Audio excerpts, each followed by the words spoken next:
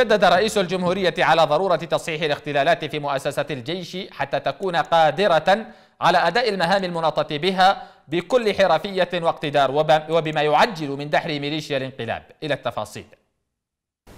هناك أخطاء ترافق أي عمل يراد بناءه وقد رافق ويرافق تشكيل الجيش الوطني كثير من الأخطاء. لا بد من الوقوف أمامها وتصحيحها وعدم تجاهلها أو التمادي معها. بهذه الكلمات أكد الرئيس هادي خلال اجتماعه بقيادة وزارة الدفاع مطلع الشهر الحالي وجوب الإسراع في إصلاح اختلالات المؤسسة العسكرية. المؤسسة التي شدد هادي في اجتماعه الثاني بقيادتها خلال نصف شهر. أن عليها أن تكون عنوانا وقدوة للانتصار والنجاح باعتبارها سياج الوطن وحصنه المنيع. إذا ما بنيت على أسس صحيحة بعيدا عن الولاءات والانتماءات الضيقة. نائب رئيس الجمهورية الفريق الركن علي محسن الأحمر أكد خلال ترأسه أمس اجتماعا لقيادات هيئة الأركان ورؤساء الهيئات والدوائر وقادة المناطق العسكرية الثالثة والسادسة والسابعة.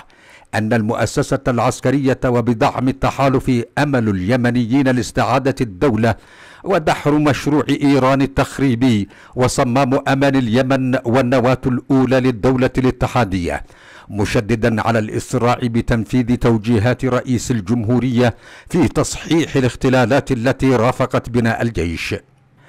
حديث الرئيس ونائبه عن الاختلالات في المؤسسة الأهم وأهمية الإسراع بتصحيحها حديث سيمثل الإسراع بترجمته لواقع عملي حلا لإشكاليات امتدت لتؤثر على مسار التحرير بشكل عام. فيما سيمثل البقاء في دائرة الخطابات المجردة خطيئة ينفذ من خلالها أصحاب المشاريع الصغيرة لينخروا أهم مؤسسات الوطن الكبير. وفقا للتصريحات الحكومية فالتحركات جادة لترجمة التوجيهات الرئاسية وعلى سبيل المثال وبحسب ناطق محور تعز العقيد عبد الباسط البحر فمحور تعز أول محور دشن قبل أيام الهيكلة للقوات العسكرية المنتسبة إليه. وبما يتوافق مع مخرجات الحوار الوطني وطبقا للمعايير المتعارف عليها عالميا في بناء القوات وتكويناتها. فيما كلفت وزارة الدفاع لجنة خاصة بالبصمة والبطاقة الإلكترونية تعمل على حصر القوات البشرية وإصدار البطاقة العسكرية الإلكترونية لبناء جيش وطني على أسس سليمة وقاعدة بيانات مكتملة.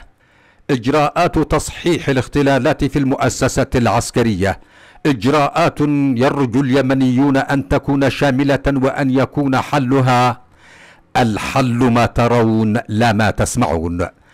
فما رآه اليمنيون من خلل في المؤسسة العسكرية. عرته الانتفاشة الميليشاوية وما تلاها خطيئة يحرم تكرار مقدماتها. فكل مقدمة لا تقود لإنشاء جيش للوطن والوطن فقط. هي في خلاصتها نكبة للوطن أيا كانت اللافتات.